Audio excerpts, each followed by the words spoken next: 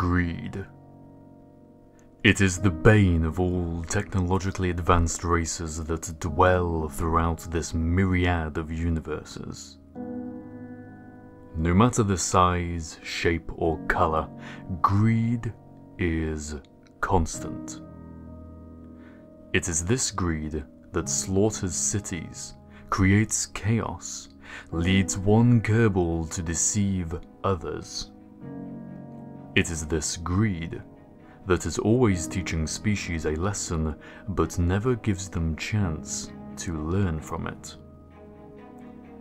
It is also this greed that leaves a deafening silence in its wake.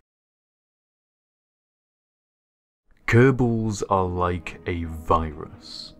They move to an area and build and build until every natural resource is consumed.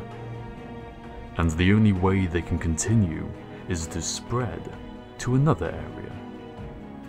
In the pursuit of power and status, those with the funds to do so constructed a tourism infrastructure in the far reaches of their solar system.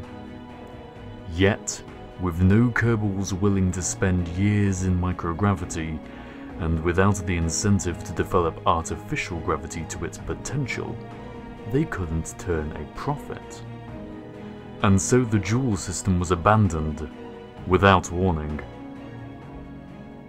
Those crew members left to fend for themselves slowly ran out of food or died drinking the kethane from the all but exhausted fuel reserves. The silence reigns supreme now. Even so, the inevitable progression of time, coupled with the constant presence of greed, causes history to repeat itself. New Kerbals come, with their new visions, and more Kerbals are deceived into becoming a part of the spread. A process doomed only to terminate with the extinction of the species itself. This being the case, what, do you imagine, would be the last run in the cycle? What ungodly project would be the last to perform before the final act ends and the curtains draw to a close? Would it be a testament to the ingenuity of Kerbal kind, or a demonstration of their naivety? Would it be an ultimate pooling of all the Kerbal Space Program's accumulated assets into one shining beacon of triumph to resound throughout the worlds, or a slow descent into tragedy?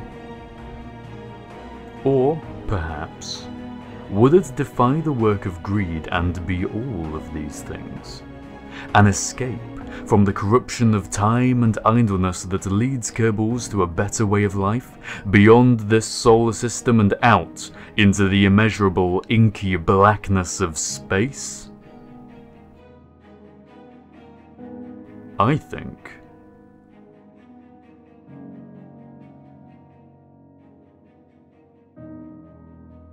I think I want to find out.